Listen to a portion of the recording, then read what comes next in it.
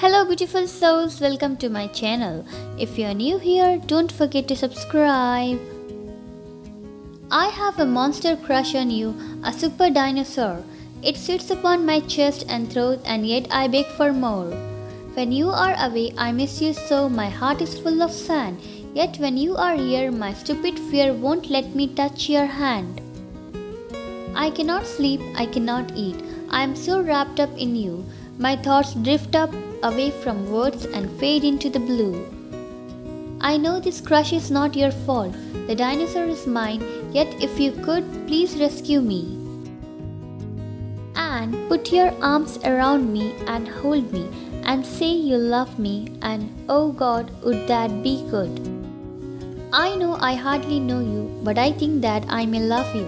You can see the way I look at you and no, I know you have a girlfriend, but I think we can be happy. So take the time to find out if it's so. I know we don't have much time, but I think it's just enough. If you'd like to take a chance on me, let's go. I know we'll have no right to love you. I gave you up and now you are with my friend, but I can't stop myself from thinking of you, even though that's not what I intend. Want you, but I also don't want you to hurt my friend by breaking up with her. So things go wrong no matter what you do. I long for what I don't want to occur. Ah, me. I'm in a soap and can't get out. Help me if you can by being kind. I tell you this to banish any doubt that I'll be waiting if you are so inclined. But please, please, if my friend still has your love, forget completely what I have spoken of. I used to be completely cruel and heartless, using girls, then tossing them aside. I used to feel an angry, bitter hunger, not knowing why nor looking much inside. I used to think the goal of life was pleasure, my own, of course, whatever that might take. A woman's feelings had to be her problem. Self sacrifice was always a mistake. And so, with just the slightest twinge of co-science, I hunted for my lonely ecstasy and even when I wanted a companion, the only one I cared about was me. We make our worlds like God in our own image. Mine was a metropolis of stone Lynn, which all souls were either fools or cynics, doomed to take their pleasure on their own. And then I fell in love with you, and somehow your happiness meant more to me than mine. The desert became green and lush with flowers, and like a sun, my heart began to shine.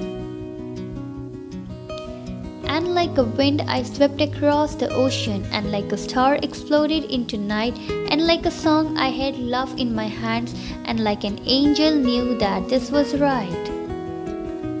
All that I had thought was proven wrong, all the lies to justify my greed. To love was to embrace the pit of life, to feel a joy far stronger than a need.